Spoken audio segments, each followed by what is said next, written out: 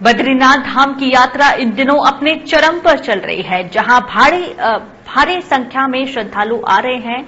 वहीं बद्री धाम यात्रा पूरी करने के बाद श्रद्धालु उत्तराखंड के मनोहारी हरियाली का आनंद लेने के लिए देश के अंतिम गाँव माड़ा पहुँच रहे हैं।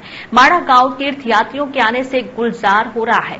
तीर्थयात्री यहाँ के हरी भरी वादियों को देखकर मंत्रमुग्ध हो रहे हैं।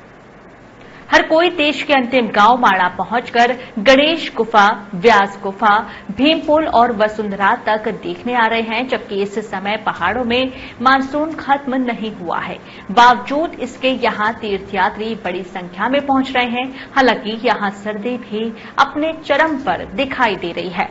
वहीं यहाँ पहुँचे तीर्थयात्री काफ़ी उत्साहित भी दिखाई दे रहे हैं। बद्रीनाथ से अजय कृष्णा की रिपोर्ट।